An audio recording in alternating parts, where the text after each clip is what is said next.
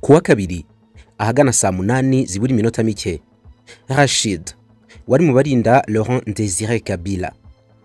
Yinjiye muri palais de marbre inyubako iherereye mu gace ka binga mu mujyi wa kinshasa. Arasa amasasu atatu kabila rimwe rimufata mu nda irindi mu gakanu irindi rifata mu ntebe yari yicayemo. Perezida yikubita hasi arahwera. Uyu rashid akimara kurasa perezida yasohotse yiruka cyane n'imbunda ye. Undi musirikare mu barinda umukuru w'igihugu abanza kumurasa amaguru yikubita hasi. Bahita bamukubita amasasu menshi mu mutwe baramujanjagura. Koroneli edi kapendi wari mubyara wa kabila akaba n'umwe mu bajyanama be ba hafi yari inshuti ya kera. Ni umwe mu baje gutabwa muri yombi bashinjwa kuba ku isonga ry'abamuhitanye. We na bagenzi be mirongo itatu bashinjwaga ibi byaha byo guhitana perezida bamaze imyaka cumi n'irindwi muri gereza nkuru ya makara iri muri kinshasa. Aho bakatiwe urwo gupfa ariko igihano cyabo kiza guhindurwamo igifungo cya burundu. Mu bihumbi bibiri na cumi n'icyenda ubwo hatangwaga imbabazi za perezida abahamijwe icyaha cyo kwica kabira bo ntabwo bari mu bazihawe. Gusa bose ntabwo bagifunze kuko harimo abatorotse nako ngo harimo abatorokeshejwe basubira mu gisirikare mu ishyamba. Kugeza uyu munsi urupfu rw'uyu mugabo ruracyarimo urujijo rukomeye cyane kuko hari amashusho yakwirakwijwe ku mbuga nkoranyambaga. Kapendi avuga yuko abagize uruhare mu rupfu rwa kabira bidegembya mu gihe inzirakarengane zo ziri ku munyururu. Zizira ubusa ziborera muri gereza.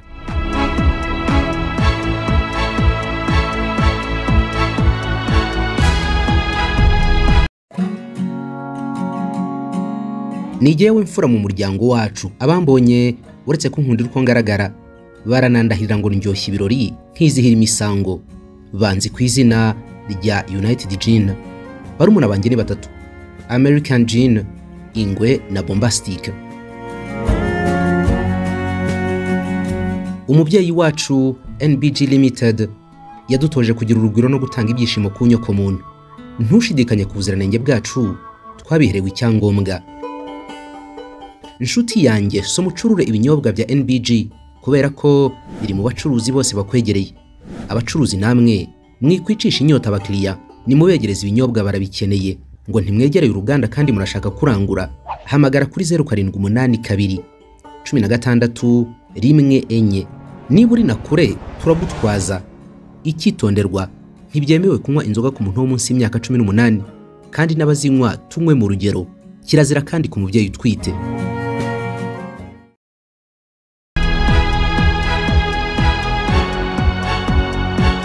Laurent Desire Kabila yabaye perezida wa gatatu wa Congo.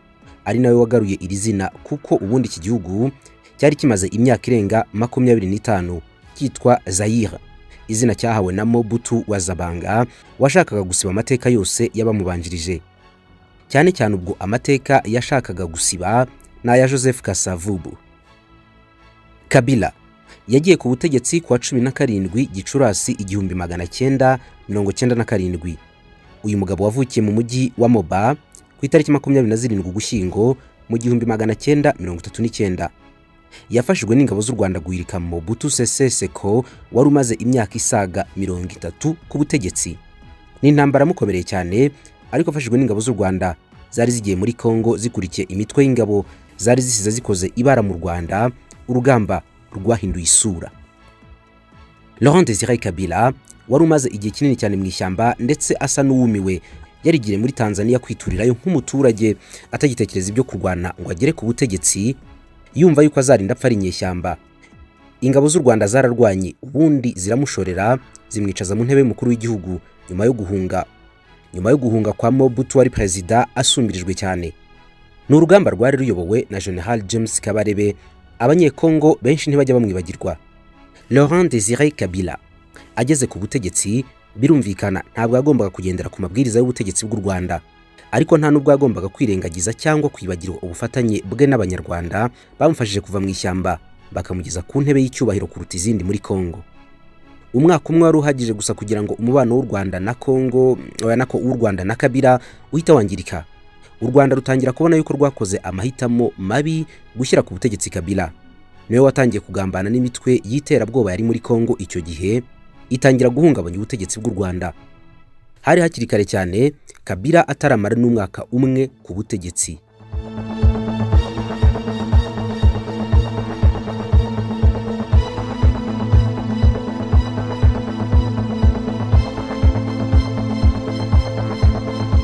Nyuma ya jenoside yakorewe abatutsi hafi miliyoni ebyiri z'abanyarwanda zari zibereye muri kongo benshi muri abo ngabo bari impunzi z'abasivili bahunze bisanzwe. Ariko icyari urujijo cyanagoraga cyane ubutegetsi bw'u rwanda. Ni uko muri izo mpunzi hari harimo ibihumbi by'abasirikare ba exfar barimo bisuganya mu mashyamba ya kongo ngo bagabe ibitero ku rwanda. Abo bari bavanze cyane n'impunzi mu makambi. Ni imitwe yarimo abarwanyi benshi bari baravuye mu rwanda bikoreye intwaro zabo abandi bagahabwa imbunda n'abaterankunga bo mu bihugu by'amahanga. Atarashakaga ubutegetsi bwa fpr inkotanyi. Ku isonga igihugu cy'ubufaransa. Cyari kinafite agace ka zone turquoise ari nako kanyuzemo abo barwanyi bambuka bajya hakurya muri zayire impunzi z'abasirikari n'abasivile bavangavanze. Bahungira ku mupaka wa zayire n'u rwanda. Bakomeza gucura imigambi yo kugaruka gutera u rwanda mu bitero byabaye byinshi hagati y'igihumbi magana cyenda mirongo cyenda na gatandatu n'igihumbi magana cyenda mirongo cyenda n'umunani. Ndetse imyitozo ya gisirikare ikomereza aho ngaho ku mupaka w'u rwanda hafi aho rwose hagati y'u rwanda na zayire ku buryo uvuye aho imyitozo yaberaga ni muri metero nke cyane washoboraga kurasa mu rwanda. General james kabarebe wari muri congo icyo gihe ibuka yuko hagati y'u rwanda n'abarwanyi bari muri congo b'interahamwe hari harimo intera ingana urwara. Impunzi zagiye kongo ari mu buto ari abafaransa bazituje ku mipaka. Ku mupaka rwose. Kibumba katare gahindo gashusha mugunga kapanzi karongi katana kamanyura aho hose ni ku mupaka w'u rwanda. Hose ni ku mupaka. Metero magana ane metero metero magana inani kure cyane ngira ngo ni nk'ikirometero cyangwa bibiri. Kugeza aho ngira ngo rpf yiyamye un ibasaba gutandukanya impunzi n'abasirikare kuko abasirikare n'ibikoresho byabo n'impunzi barabanaga mu makambi. Baratangiye igicengezi mu rwanda icyo gihe hari hari imiryango mpuzamahanga itegamiye kuri leta yarengaga magana abiri na mirongo itanu yakoreraga mu rwanda. Ku iturufu yo gufasha abaturage bari bavuye mu bihe bikomeye cyane bya jenoside yakorewe abatutsi. Leta y'u rwanda yaje kwakira amakuru avuye mu butasi bw'u rwanda icyo gihe ko myinshi muri iyo miryango ifasha imitwe y'iterabwoba yari aho hafi ku mupaka w'u rwanda muri congo. Ndetse ngo biteguraga gutera igihugu mu matariki ya hafi. Kandi iyo miryango yose nterankunga ikabigiramo uruhare. Ntibyasabye inama nyinshi cyangwa kubiganiraho igihe kirekire. Ku itegeko ry'uwari visi perezida icyo gihe perezida w'uyu munsi paul kagame. Imiryango yose yarahambirijwe byose byari mu rwego rwo kugira ngo urugamba rwo muri congo rworohe. Perezida paul kagame icyo gihe yari visi perezida w'u rwanda akaba na minisitiri w'ingabo. Ni we wasabye umuryango mpuzamahanga kugira icyo ukora kugira ngo ibyo bitero bigabwa ku rwanda bihagarare. Ariko umuryango mpuzamahanga wananirwaga cyane n'ubutegetsi bw'u rwanda icyo gihe ntabwo wigeze ugira icyo ukora. Ahangaha rero ni ho haturutse igitekerezo cyo gukuraho Mobutu wa Zabanga wari uyoboye Zaire icyo gihe. U Rwanda rwiyemeza bidasubirwaho kwinjira muri Zaire rugashyigikira abari basanzwe barwanya ubutegetsi bwa Zaire icyo gihe. Hamwe na Mobutu wari umuturanyi utari mwiza ku Rwanda n'ubundi umutekano w'u Rwanda ntabwo wari gushoboka. Nuko Laurent Désiré Kabila yatekerejweho nyuma y'imyaka mirongo itatu arwanya Mobutu. Yabaga muri Tanzania icyo gihe.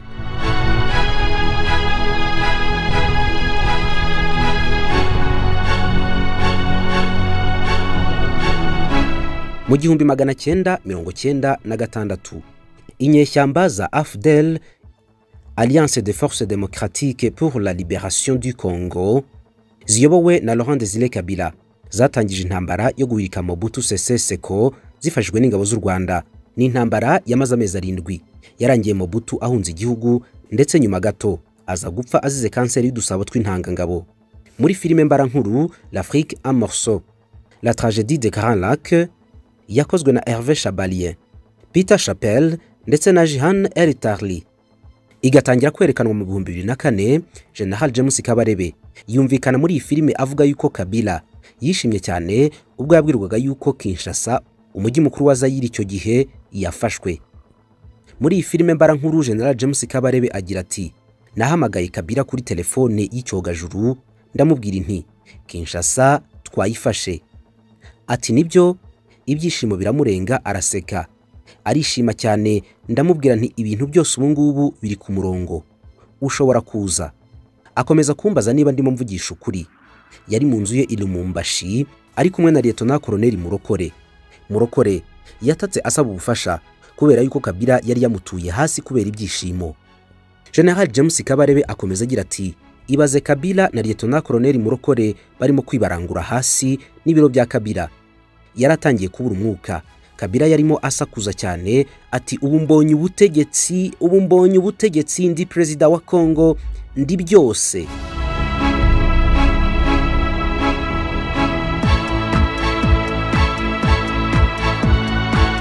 Nyuma yo kugeza Kabila ku butegetsi General James Kabarebe icyo gihe yari koloneli yaje kugirwa umugaba mukuru w'ingabo za Repubulika ya Demokarasi ya Kongo bitewe ahanini n'uruhare u Rwanda rwari rumaze kugira mu kugeza Laurent Desire Kabila ku butegetsi. Uko byagaragaraga yari nk'inyiturano Laurent Desire Kabila yari ahaye James Kabarebe. Ukwezi kwa bucya ariko ntabwo kwatinze.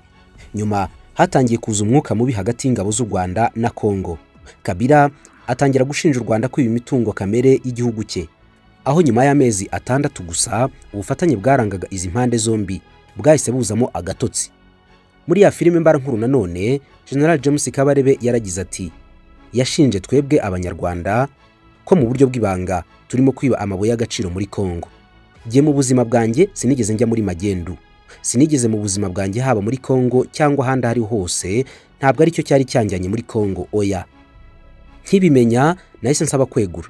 Kabila ansaba kuba mpagumye aranyinginga cyane ati reba mwadukoreye ibintu byinshi kandi bikomeye ntabwo mwagenda gutya bidateye kabiri muri Kanama. Laurent Desire Kabila yahise ahagarika umubano wose n'u Rwanda. Yirukana ingabo z'u Rwanda ku butaka bwa Kongo ndetse atangira gucudika bya hafi na ex-FAR n'interahamwe zari mu buhungiro muri Kongo aho zari zaranashinze umutwe wari ugamije gutera u Rwanda wiswe ALIR cyangwa se Armée pour la Libération du Rwanda. Nyuma waje guhindura izina witwa FDLR ahagana mu mwaka w'ibihumbi bibiri. Mu kwirukana ingabo z'u Rwanda n'iza Uganda muri icyo gihugu cye muri Kanama. Mu gihumbi magana cyenda mirongo cyenda n'umunani Desire Kabila yabonye yuko igihugu cye gisigaye nta ngabo zigaragara gifite. Ahita yerekeza amaso ku nterahamwe na ex-FAR bari bagize ALIR icyo gihe. Abifashisha mu kubaka igisirikare cy'igihugu cye shije itabona byagaragariraga buri wese yuko igisirikare cya Desire Kabila ubwacyo kitari kihagije. Gucudika kwa Desire Kabila n'abajenosideri bo muri ALIR mu gihumbi magana cyenda mirongo cyenda n'umunani. Ntabwo byaguye neza u Rwanda. Byasaga naho umugambi wari uhagurukije ingabo z'u Rwanda mu gihumbi magana cyenda mirongo cyenda na gatandatu zijya kurwana na Mobutu wari utagezweho. Ibintu byasaga naho bisubiye ibubisi iyo rero niyo ntangiriro yo kwambikana hagati y'ingabo z'u Rwanda na Kongo mu ntambara yiswe iya Kongo ya kabiri. Yabaye inkundura ikomeye cyane y'akataraboneka muri Afurika nzima. Ubwo Desire Kabila yateraga u Rwanda na Uganda ku bufatanye n'u Burundi akitabaza ingabo z'ibihugu bitandukanye birimo Chad, Angola, Zimbabwe, Sudan, Namibia icyo gihe Kongo yari isibaniro ry'intambara mu myaka ine yari igiye gukurikiraho. Bivugwa yuko ari intambara ikaze cyane nyuma y'intambara ya kabiri y'isi yose nta yindi ntambara nk'iyi ngiyi yari yakabaho ku mubumbe muri iyi ntambara ya kabiri ya Kongo ni bwo Laurent Desire Kabila yishwe. Muribuka hano natangiriye babwira yuko hari ku gicamunsi. Umwe mu barindaga umukuru w'igihugu akinjira muri Palais de Marbre akarasa amasasu atatu akica perezida.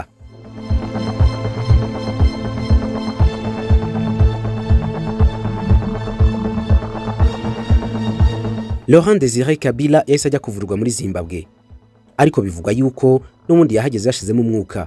Ariko ngo batinda kubitangaza yuko yapfuye kubera ko bari bagishakisha uburyo ubutegetsi bwasubira ku murongo bugahabwa umuntu ushobora gushyira igihugu ku murongo. Nyuma y'iminsi umunani rero ni bwo Laurent Desire Kabila yasimbuwe n'umuhungu we icyo gihe General Major Joseph Kabila. Ni mu ntangiriro z'ibihumbi bibiri na rimwe.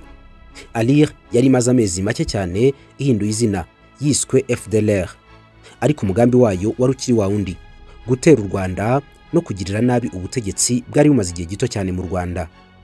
Mu buhamya bwinshi cyane bwatanzwe n'abantu bari begereye ubutegetsi bwa Laurent Desire Kabila ntabwo batunga urutoki ngo bavuge neza umuntu waba uri inyuma y'urupfu rwa perezida kabila. Icyo bahurizaho ni uko nyuma y'igihe gito cyane amaze kugera ku butegetsi yongeye kugira abanzi benshi barimo n'abari mu butegetsi bwe. Abandi bakemeza yuko imiterere y'intambara ya kabiri ya kongo yari ihuriwemo n'ibihugu byinshi. Birimo n'u rwanda na uganda na yo ubwayo yaba intandaro y'urupfu rw'uyu mugabo. Joseph kabila wari umaze kugera ku butegetsi akiri muto cyane nawe yakomeje gucudika bya hafi na fdlr yari isigaye ifite icyicaro kinshasa mu murwa mukuru. Bamwe mu ba exfar bari barahawe ibiraka byo kumurinda ndetse banamubonamo iturufu ikomeye cyane izabafasha gutera u rwanda no kwisubiza ubutegetsi. General major paul rwarakabije wayoboraga umutwe wa fdlr akaza kwitandukanya nawo akagaruka mu rwanda aherutse kuvuga yuko perezida joseph kabila yajyaga abagezaho intwaro aho bari bakambitse mu mashyamba ya warikare ati byageze aho noneho kabila uriya uherutse kuva ku butegetsi vuba aha ngaha yakoze ku buryo afasha fdlr yafataga mu ngabo ze n'amasasu ndetse n'imbunda agakora ku buryo abihereza indege. Icyo gihe nibuka yuko babimanuraga mu mitaka mu ishyamba aho twabaga turi. Nakundaga kuba ndi masisi cyangwa se iwarikare aho ngaho hose ni ho indege zabijugunyaga tukabifata. Gusa mu bihumbi bibiri n'icyenda joseph kabila yaje gusinya amasezerano n'u rwanda yaje gutuma habaho ibikorwa byo kurwanya imitwe y'iterabwoba yitwaje intwaro yari muri congo. Umwe muri iyo fdlr yakoreraga muri congo ikinshasa ni operasiyo yiswe umoja wetu na kimya tu. Hari hagamijwe ahanini gutsinsura iyi mitwe. Icyo gihe abasirikare b'u rwanda barenga ibihumbi bitanu. Binjiriye ku butaka bwa congo batatanya abarwanyi ba fdlr agahenge kongera kugaruka yaba muri goma no mu nkengero z'umupaka wa bukavu. Icyo gihe inkambi zose zarasenywe abarwanyi benshi bamburwa intwaro. Abandi bakwira imishwaro mu mashyamba. Imwe mu mpamvu ituma abantu batanywa inzoga babonye zose ishingiye ku kuntu zitunganywa. Inyinshi zongerwamo isukari ibinyabutabire cyangwa ibimera zengwamo byarahinzwe hakoreshejwe imiti n'amafumbire mvaruganda itatwifuriza kuramba. Yibaze noneho rero mu gushishoza kwinshi uguye ku nzoga y'umwimerere. Nayikuboneye ni flow.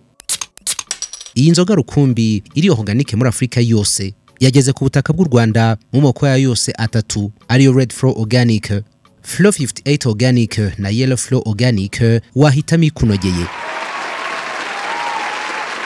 Dushimiye jespo limited ikorera kicukiro sonatube mu muti rwa silverback mall. Bayituvanira mu bubirigi. Soma flow ucurure wica icyaka izo nimero ubona zagufasha kurangura no kumenya andi makuru ahagije.